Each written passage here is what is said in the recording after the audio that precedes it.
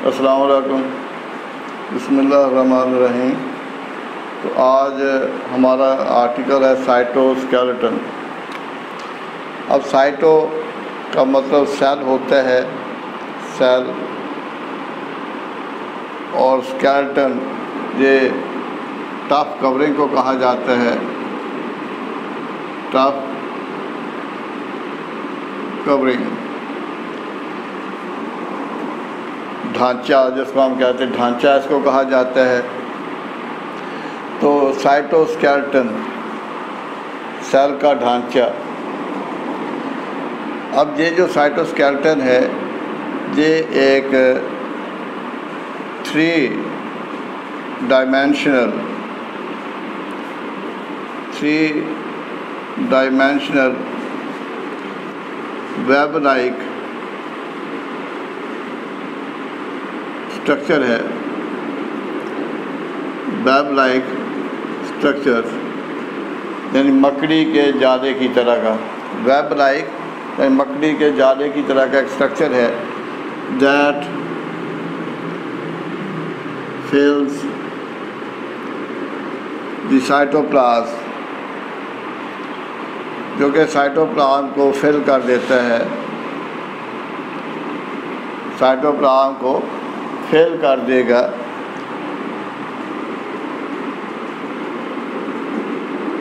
within which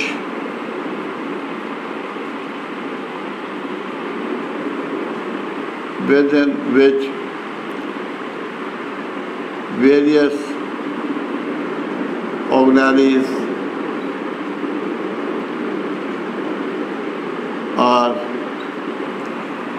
embedded और जिसमें बहुत सी ऑर्गेनालीज मौजूद होंगी, जैसे साइटोप्लाज्म है राइबोसोम है एंडोप्लाज्मिक है गोल्जी बॉडीज़ हैं। तो ये उसमें धंसी हुई होती हैं। थ्री डायमेंशनल जिसकी थ्री डायमेंशंस हों मतलब लेंथ है वेथ है हाइट है तो इसको थ्री डायमेंशनल कहा जाता है। तो एक ये वेब लाइक स्ट्रक्चर है जो कि साइटोप्लाज्म को फिल कर देगा और जिसमें जो मुख्य ऑर्गेनाइज हैं, वो एम्बेडेड होती हैं। तो इसको साइटोस्केलेटल फैब्रिक का नाम भी दिया जाता है। साइटो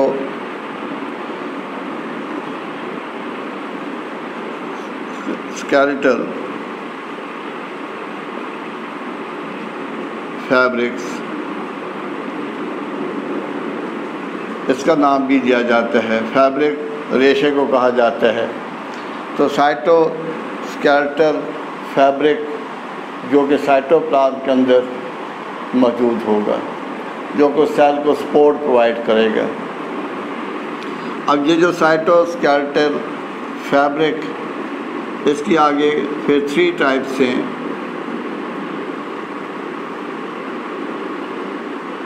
एक जो उसको माइक्रोटब्यूल कहा जाता है।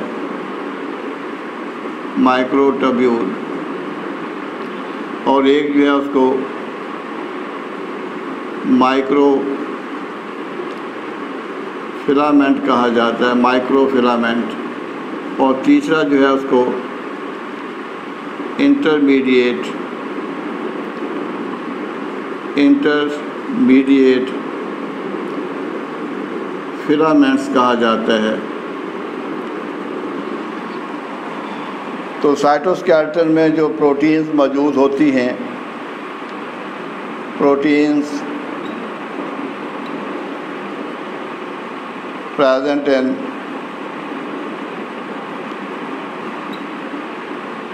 साइटोस्केलेटन। तो साइटोस्केलेटन में जो प्रोटीन मौजूद होती हैं, उसमें एक जो उसको ट्यूबलन कहा जाता है। ट्यूबलन। और दूसरी उसको एक्टन कहा जाता है। एक्टन। और तीसरी इसमें उसको ट्रोपोमायोसिन कहा जाता है। ट्रोपोमायोसिन। ट्रोपोमायोसिन। And others. अब ये वो प्रोटीन्स हैं जो मसल में भी मौजूद होती हैं। आल्सो प्रेजेंट इन मसल्स तो जो हमारे मसल्स में भी मौजूद होती हैं। यानी इनको साइटोस्केल्टल फैब्रिक्स का नाम दिया जाता है। साइटोस्केल्टल फैब्रिक्स अब जो साइटोस्केल्टल फैब्रिक्स हैं, उसमें थ्री टाइप्स के फिलामेंट आ जाते हैं। एक उनको माइक्रोटब्यूल कहा जाता है, एक उसको माइक्रोफिलामेंट कहा जाता है, और एक उसको इंटरमीडिएट फिलामेंट कहा जाता है। और इनमें ये तीन तरह की प्रोटीन्स पाई जाती हैं। एक ट्यूबुलन है, एक एक्टन है, एक ट्रोपोमायोसिन है। और ये प्रोटीन्स वो प्रोटीन्स हैं जो मसल में भी मौजूद होती हैं। तो अब हम इन फिलामेंट्स को डिटेल के साथ डिस्कस करेंगे। तो इसको हम डिटेल के साथ देखेंगे। तो सबसे पहले माइक्रोटब्यूल माइक्रोटब्यूल इनको स्टडी करेंगे माइक्रोटब्यूल और ये जो माइक्रोटब्यूल हैं, ये long unbranched long unbranched slender cylinder का मतलब थिन होता है, बारीक होता है स्ट्रक्चर्स हैं। स्ट्रक्चर्स और ये made up of tubulin protein ये ट्यूबुलन प्रोटीन के बने हुए होते हैं। ट्यूबुलन प्रोटीन के बने हुए होते हैं। और इनका जो रोल होगा फ़ंक्शन होगा, ये हिस्सा लेते हैं। Assembly and this assembly of spindle. Spindle और स्पिंडल एक ऐसा स्ट्रक्चर है जो कि सेल डिवीज़न के दौरान बनता है।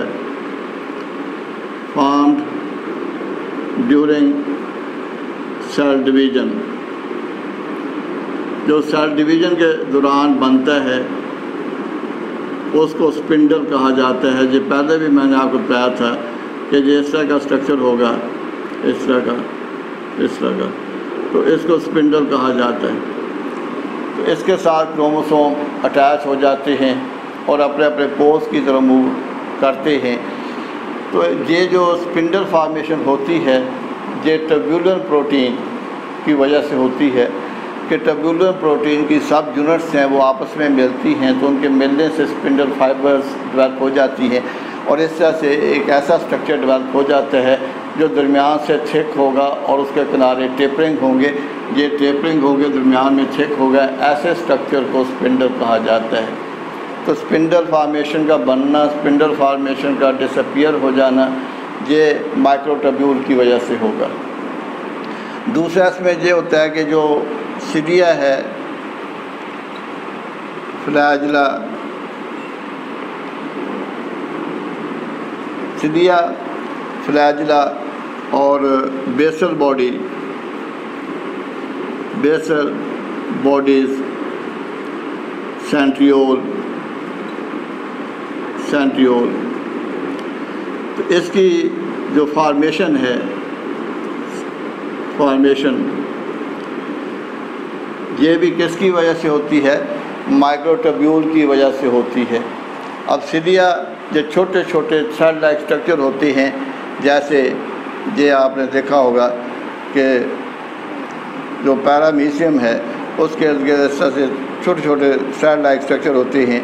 जिनको सीरिया कहा जाता है। फ्लैजला मतलब एक एनिमल है जिसको जूलिना कहा जाता है। तो उसके जहाँ पर इस तरह से एक लॉन्ग थ्रेड लाइक स्ट्रक्चर होगा, जिसको फ्लैजिलम कहा जाता है। फ्लैजिलम, एक को फ्लैजिलम कहा जाता है। फ्लैजिलम। और सेंट्रियोल जो आप पढ़ चुके हैं। तो जो एनिमल सेल होते हैं, उनमें सेंट्रियोल होगा, जबकि हायर प्लांट जो होते हैं, वेस्कुलर प्लांट जो होते हैं, उनमें सेंट्रियोल नहीं होता तो वहाँ पर सेंट्रियोल से मिलता जुलता स्ट्रक्चर होता है, उसका एनालोगस स्ट्रक्चर होता है, जिसको नाम दिया जाता है बेसल बॉडी तो उनको बेसल बॉडी कहा जाता है। तो उनको बेसल बॉडीज़ का नाम दिया जाएगा। और दूसरे नंबर पर हमारे पास आ जाते हैं माइक्रो फिलामेंट्स माइक्रो फिलामेंट्स अब जो माइक्रो फिलामेंट्स होते हैं, ये मोर, सिलेंडर सिलेंडर होते हैं। अब सिलेंडर, इसका तो मतलब होता है थिन, बारीक। और ये जो सिलेंडर है, इसका मतलब सिलेंडर नुमा होता है। जो स्ट्रक्चर सिलेंडर नुमा हो, उसके लिए ये हम इस्तेमाल करते हैं सिलेंडर। तो ये बारीक होते हैं, सिलेंडर होते हैं। इनको सिलेंडर का नाम दिया जाता है। सिलेंडर कहा जाएगा। और ये जो माइक्रोफिलामेंट्स हैं attach attach to inner face of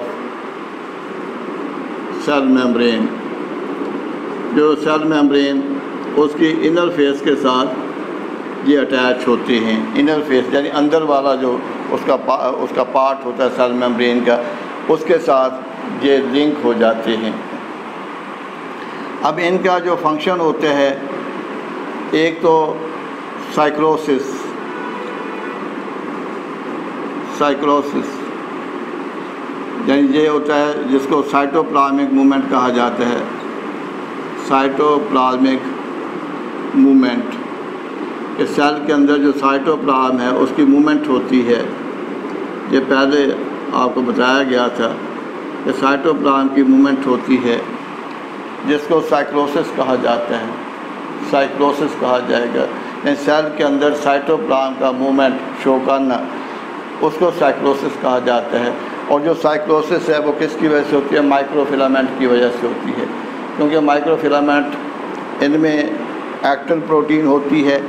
ये एक्टन प्रोटीन के बने हुए होते हैं। एक्टन प्रोटीन ये कंट्रैक्टाइल प्रोटीन है एक्टन प्रोटीन जो कि कंट्रैक्ट हो सकती है। कंट्रैक्टाइल प्रोटीन इसको कहा जाता है। जो सुकर सकती है कंट्रैक्टाइल प्रोटीन जो होगी इसमें। तो जब ये माइक्रोफिलामेंट कंट्रैक्ट करते हैं तो इनके कंट्रैक्ट करने की वजह से साइटोप्लाज्म मूवमेंट शो करेगा, जिसको साइक्लोसिस कहा जाता है।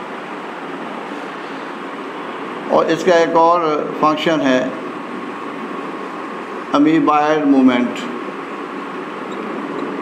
अमीबाइड मूवमेंट ये भी इसका स्ट्रक्चर है, इसका फ़ंक्शन है अमीबाइड मूवमेंट यानी अमीबा की मूवमेंट अब अमीबा कैसे मूव करते हैं, इसकी डिटेल तो आगे आएगी कि अमीबा कैसे हरकत करेगा, कैसे उसकी मूवमेंट होती है। तो ये अमीबाइड मूवमेंट में भी हिस्सा लेगा। तो अगले चैप्टर में इसको हम डिटेल के साथ डिस्कस करेंगे कि अमीबाइड मूवमेंट कैसे होती है। तो ये माइक्रोफिलामेंट और उसके बाद आते हैं इंटरमीडिएट फिलामेंट हाँ इनका जो आप कह लें कि जो डायमीटर होता है तो इनका डायमीटर जो है माइक्रोटब्यूल का डायमीटर थिकनेस जैसे ट्वेंटी से ट्वेंटी फाइव नैनोमीटर होगी। और जबकि इसकी जो, इसका जो डायमीटर है डायमीटर ये सेवन नैनोमीटर होगा। सेवन नैनोमीटर तो उसका जो डायमीटर है twenty to twenty five nanometre होगा, जबकि इसका डायमीटर जो है, ये सेवन नैनोमीटर होगा। अब तीसरा जो इसमें है, वो है intermediate filament intermediate filament intermediate filament ये तीसरा है इंटरमीडिएट फिलामेंट इंटरमीडिएट फिलामेंट यानी इनका जो डायमीटर है, ये एक्टन और ट्यूबलन के दरमियान होते हैं। Diameters between microtubule and microfilament. Microfilament. तो ये इसका डायमीटर होगा तकरीबन 10 नैनोमीटर और ये जो इंटरमीडिएट फिलामेंट होते हैं इंटरमीडिएट फिलामेंट इनका जो अहम रोल है, वो है to maintain cell shape maintain cell shape तो ये सेल शेप को मेंटेन रखते हैं और उसके साथ साथ इनका एक और फ़ंक्शन होगा integration of integration of cellular compartments cellular compartments तो ये सेलुलर कंपार्टमेंट्स उनके दरमियान ये रबते का भी काम करेगा। तो सेलुलर कंपार्टमेंट उनके दरमियान ये रबते का भी काम करता है। यानी उनको आपस में ये कनेक्शन करेगा उनके दरमियान। तो ये इंटरमीडिएट फिलामेंट के फ़ंक्शन हैं। कि इंटरमीडिएट फिलामेंट क्या होती है? तो दोबारा ब्रीफ सा, मैं एक्सप्लेन कर देता हूँ दोबारा कि साइटोस्केल्टन स्केल्टन जो है ढांचे को कहा जाता है। जैसे हमारा जो ढांचा है, ये बोन्स पर मुश्तमिल है, और जिसकी वजह से हमारी एक शेप है, क्योंकि वो जो ढांचा है, हमारे बॉडी को सपोर्ट प्रोवाइड करता है। इसी तरह से सेल के अंदर भी एक ढांचा मौजूद है, जिसको साइटोस्केल्टन कहा जाता है, और वो फाइबर्स पर मुश्तमल होगा। जिसको साइटोस्केल्टल फाइब्रिक का नाम दिया जाता है और उसकी फिर थ्री टाइप्स हैं माइक्रोफिलामेंट माइक्रोटब्यूल हैं माइक्रोफिलामेंट हैं इंटरमीडिएट फिलामेंट हैं। तीनों को आपने सेपरेट जो है एक्सप्लेन करना है। उसके साथ साथ उनके फ़ंक्शन लिख देने हैं, क्योंकि बुक में इनके फ़ंक्शन अलहदा लिखे गए हैं और इनका स्ट्रक्चर बाद में बताया गया है। लेकिन आपने उनको कंबाइन करके लिखना है। तो माइक्रोफिलामेंट माइक्रोटब्यूल जैसे मैंने बताया कि जो माइक्रो माइक्रोटब्यूल होते हैं, ये लॉन्ग होते हैं अनब्रांच होते हैं सिलेंडर यानी बारीक होते हैं। स्ट्रक्चर्स हैं जो ट्यूबुलर प्रोटीन के बनते हैं। और इनका मेन काम सीडिया फार्मेशन फ्लाइला की फार्मेशन सेंट्रियोल की जो फार्मेशन है बेसल बॉडीज़ की फार्मेशन उसमें हिस्सा देते हैं। और जो स्पिंडल फार्मेशन है उसका बनना, उसका टूटना ड्यूरिंग सेल डिवीज़न ये भी माइक्रोटब्यूल की मदद से होगा।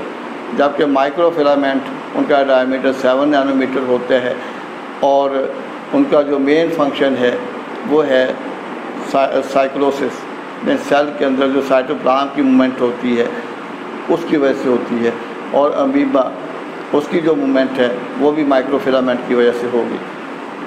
तीसरे नंबर पर इंटरमीडिएट फिलामेंट उनको स्टडी किया गया। तो इंटरमीडिएट फिलामेंट ये दोनों के दरमियान इनका डायमीटर होता है माइक्रोटब्यूल और माइक्रोफिलामेंट के दरमियान होता है। तो इनका जो डायमीटर तकरीबन टेन नैनोमीटर के करीब होगा। तो इनका जो, इनमें जो प्रोटीन्स पाई जाती हैं, इसमें एक्टन भी होगी, इसमें, जो दूसरी आपने पढ़ी ट्यूबुलन भी होगी। एक्टन और टब्यूलन एक्टन एंड टब्यूलन तो ये भी होती है, इसके अलावा दूसरी प्रोटीन्स भी होती हैं।